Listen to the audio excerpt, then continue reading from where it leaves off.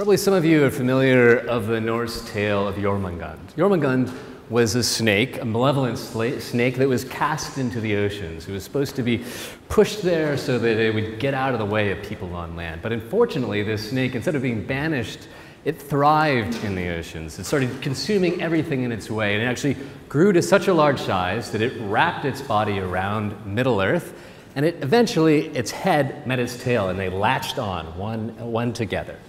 And the story tells that uh, this latching on of head and tail of Jormungand created a kind of tenuous stability that prevented the oceans from collapsing, that prevented the earth, indeed, itself from collapsing. Now, the tale of Jormungand reminds me, in many ways, of our own relationship with the oceans, of humanity's relationship with the oceans. Except we weren't pushed into the oceans, we, in fact, jumped into the oceans.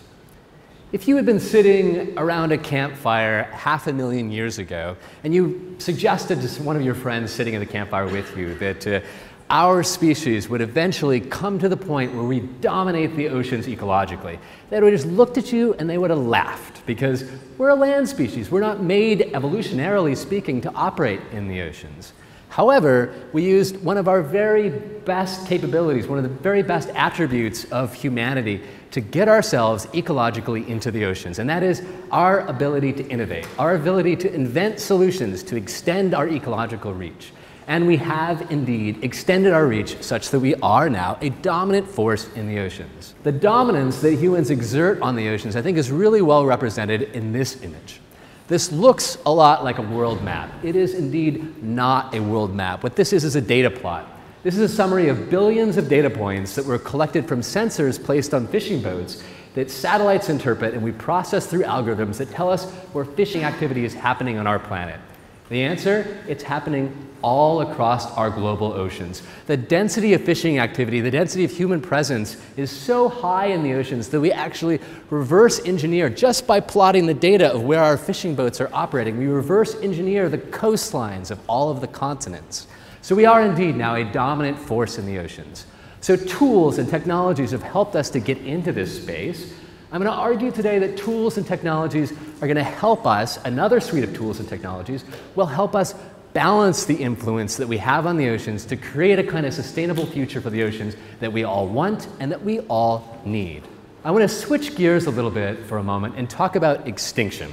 Probably a lot of you have heard of the sixth mass extinction. This is a phenomenon described by scientists that suggests that the data shows that on land, and this is important, this is data and this is a phenomenon that's occurring on land, that extinction rates are, are beginning to accelerate so rapidly that they parallel some of the biggest mass extinction events seen in all of Earth's history. This is big, right? So this is the suggestion that on land, extinction rates today match extinction rates that we saw during the late Cretaceous when an asteroid hit the planet and caused all the dinosaurs to go extinct. It seems on land that we are the new asteroid. But what about the oceans? Is the sixth mass extinction leaking into the oceans? I think that's a very important question for us to unpack together. The answer and the data shows us that indeed the sixth mass extinction has not yet begun in the oceans. And this is a wonderful piece of scientific news.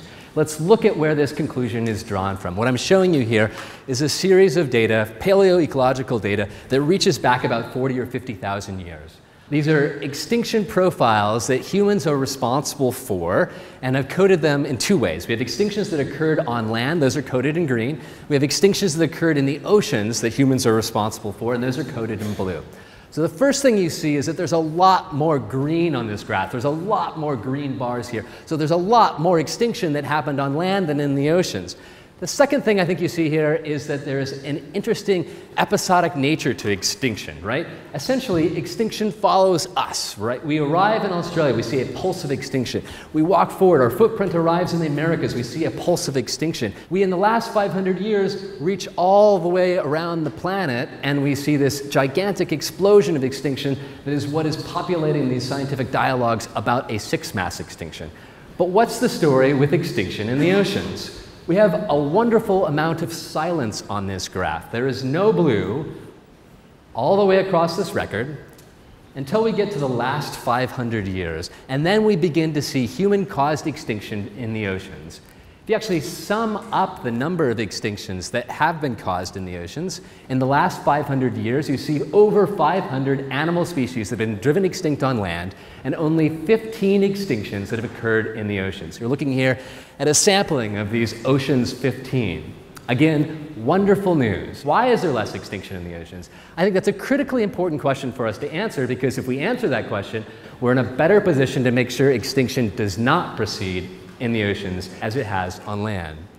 This image, I think, helps us answer the question of why there has been less extinction thus far in the oceans. This is a rendering of what I think is a narrative view of our impact on humans' impact on wildlife and humans' impact on ecosystems. We take this back about 50,000 years, we can compare what's happened on land to what's happened in the oceans, the way we've shaped ecosystems on land and the way we've shaped ecosystems on oceans. We've been hunting animals on land, we've been hunting and fishing animals in the oceans for an awfully long time. We started fishing in the oceans as long as 50,000 years ago. There's a very different shift, however, that occurs. This history looks relatively similar until we get to about this point. We get to about the period of the first industrial revolution. On land, there was a major shift where humanity decided we're not necessarily as interested in hunting animals directly, we're interested in hunting space. We're interested in using habitats. We need to build cities out into new ecological space. We need to use resources from habitats to fuel our industry. All important for our prosperity, all important for our growth, but a major shift in the way that we use ecosystems that caused major implications for wildlife in this space. Now, at the same time that we're beginning to use a lot of terrestrial real estate in different ways, we don't see a whole lot of use of ocean space. However, I want us together to look at some data that may suggest that's changing.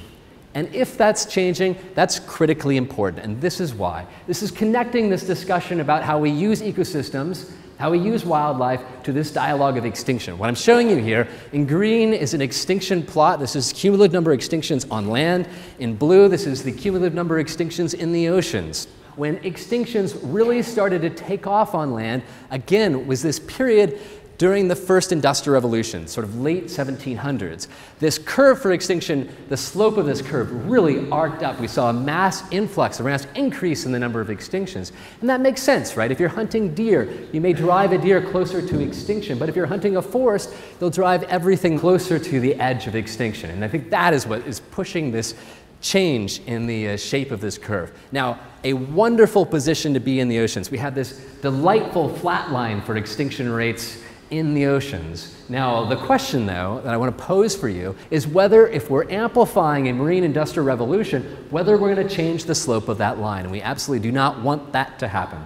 Let's consider together whether there is data that shows an industrial revolution is taking off in the oceans. We'll look at a handful of different industries together and look at uh, accelerations or, or patterns of growth in these marine industries. The first one I want to show you is seabed mining.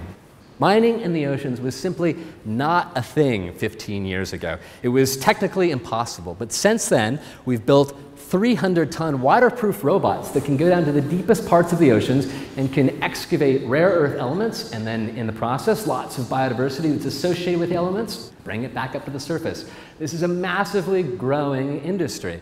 It's an industry that we may need. These rare earth elements are the things that I have in my iPhone, the things that I have in my computer, the things that I have in my hybrid cars. But this is happening at a rate that I think we all want to pay very close attention to. We've gazetted in the past 15 years over 1 million square kilometers of ocean for seabed mining exploration. That's 1 million square kilometers of ocean. So if this is an industry that's beginning, it's an industry that we want to pay very close attention to. Another indicator of change, another indicator of how we use ocean space. We're building power plants in the oceans. This is a curve that just shows offshore, the growth in the offshore wind industry. We absolutely need to be building power plants in the oceans. The oceans are like this gigantic battery of energy, of low carbon energy that we need to plug into if we need to combat climate change. And we absolutely must combat climate change or we're not going to overheat our oceans and turn them into an acidic mess. But we have to be aware that as we put more stuff in the oceans, more power plants in the ocean, this is going in on top of ocean ecosystems. This may be going in in corridors of migration for ocean animals. So we need to be very thoughtful of how we engage the growth of this important industry. Another important ocean industry. This is growth in the shipping industry on the oceans. Traffic is increasing exponentially in the oceans. And traffic in the oceans causes many of the same problems for ocean ecosystems as traffic on land does. We have increased pollution, increased noise, we have increased roadkill even. A lot of these ships are striking whales, which is causing the uh, impairment of recovery for a lot of at-risk whale species. This is another complicated one. This is fundamental to all of our industry, to all of our business. All the things that I'm wearing came across the Pacific on a ship like this, right? So we need to be very thoughtful how we engage and zone forward the transit pathways for this kind of growth. But a key indicator that something different is happening in the oceans. A last kind of growth, and this is big. This is farming in the oceans. 2014 was the first year that our planet ate more fish that came from farms than came from the wild. That's a transformative event. That stands on parallel with uh, the event in our history when we switched from hunting and gathering in forests for our dinner to farming on land this shift towards the dominance of farming in the oceans is going to have major implications for what happens to ocean biodiversity in the future. This is just growth in aquaculture for shrimp. We're seeing growth in many sectors of aquaculture that follow these same kinds of growth trajectories if there are lots of signs that we may be beginning a marine industrial revolution that's accelerating, becoming more mature, when we return to this dialogue about how this change, the way we're using ocean space, interacts with extinction and biodiversity futures, we have to be very careful. We have to be very thoughtful because the last thing we want to do is build out this growth in a way that uh, doesn't serve the oceans well, because ultimately that will not serve us well. So, how do we keep this flat line of extinction flat in the oceans? I think technology, again, will help. Just as technology is helping us start these needed industries, technology can help us move them forward intelligently. This is one example of the kinds of technologies that can help us do this. Probably many of you are aware of a revolution in Earth observation. We're sending up hundreds of new micro and nano satellites to get information from our planet and to observe our planet. They can play a critically important role in making sure that the marine industrial revolution moves forward intelligently.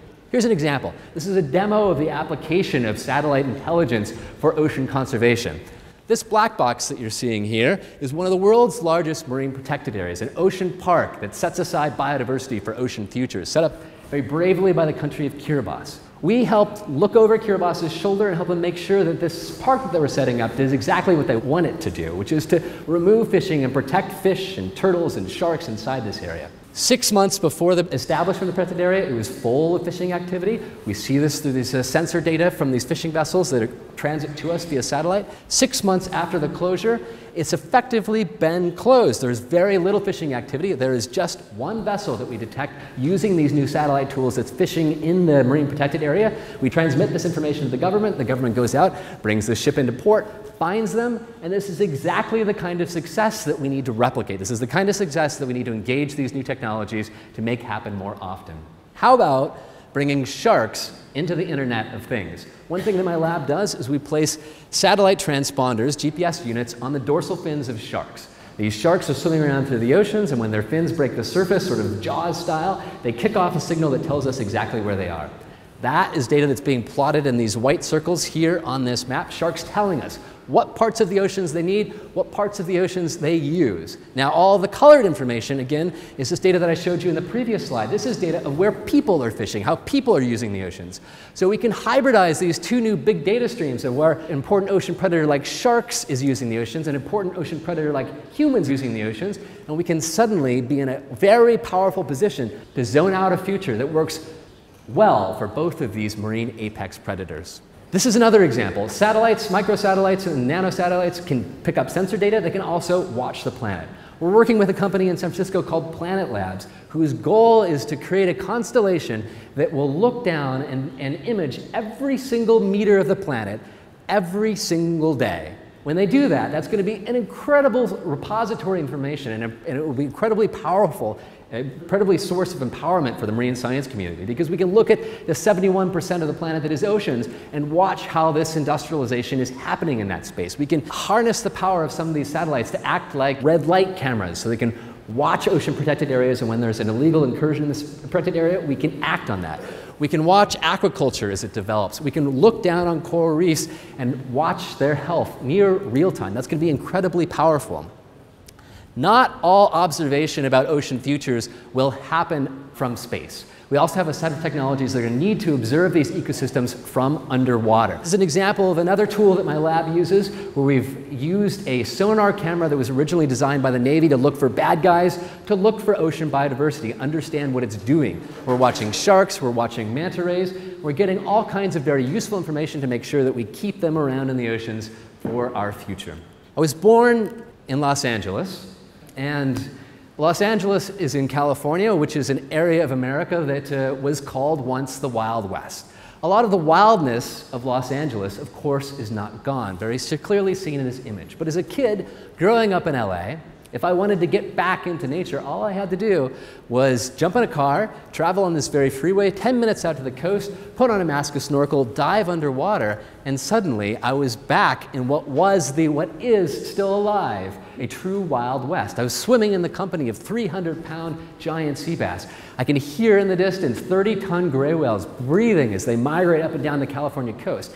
And this is all happening while I look at the skyline of LA. This change in California happened in 85 years. We went from a biodiverse desert to that scene that I showed you. Now, I'm not suggesting that in 85 years the oceans are going to look like downtown LA, but I am suggesting that in the next century the oceans will look a lot different than they do today. In the next two centuries, they'll look a whole lot different, and we need to anticipate that. We need to anticipate that for the purposes of business and for the purposes of conservation. I think none of us would go back to the beginning of the Industrial Revolution and undo that process and undo that progress. But if we could go back to the beginning of the Industrial Revolution, and if we knew then what we know now about how our health is intimately linked to the health of the oceans, if we could take with us the tools that help us watch development happen, watch an industry begin, we would absolutely redo that process in a way that's cleaner, smarter, better for the environment, and better for us. Very rarely does the environment give us second chances. The ocean is our second chance to do something right for a vast section of oceans, to do something right for business, to do something right for biodiversity, to do something right for the future of humanity. Thank you.